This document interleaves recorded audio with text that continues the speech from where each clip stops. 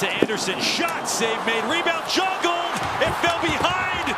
Oettinger, it's loose. Taken by the Stars. It somehow stayed out. They will ice it all the way down. And what a carnival in the Dallas crease. Oettinger laughing it off. How much does Jake Oettinger like to compete? This is insane. I mean, this this is ludicrous. I think he makes this save behind his back. It flips over top of him. He turns around. Ah, oh, he gets time skate save help from Esa Lindell.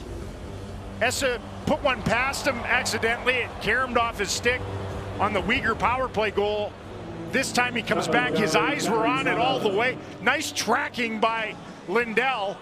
And he saves the goal. He saves the tying goal. Is dribbling toward the goal. He kicks saving a beauty. What a schmozzle that was in the crease area. And the Stars make a stand and survive with 46 seconds to go.